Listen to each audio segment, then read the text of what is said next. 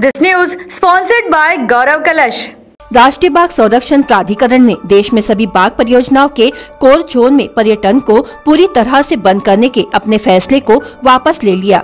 बाघ संरक्षण योजना के तहत स्वीकृत परियोजनाओं के कोर एरिया में पर्यटकों को जाने की अनुमति दी जाएगी। देश के सभी मुख्य वन संरक्षकों की बैठक 9 मार्च को हुई थी। बैठक में इस मुद्दे पर चर्चा की गई। इसमें देश के आधे से ज़्यादा राज्यों ने देश के वन सचिव और अन्य वरिष्ठ अधिकारियों के सामने एनटीसीए के फैसले पर नाराज़गी जताई। उन्होंने यह भी अनुरोध किया कि हमारे राज्यों के सुझावों पर विचार किए बिना कोई निर्णय नहीं लिया जाए। गौरतलब है कि बाघ संरक्षण प्रारूप में कहा गया है कि कोर क्षेत्र में पर्यटन को धीरे धीरे समाप्त किया जाएगा।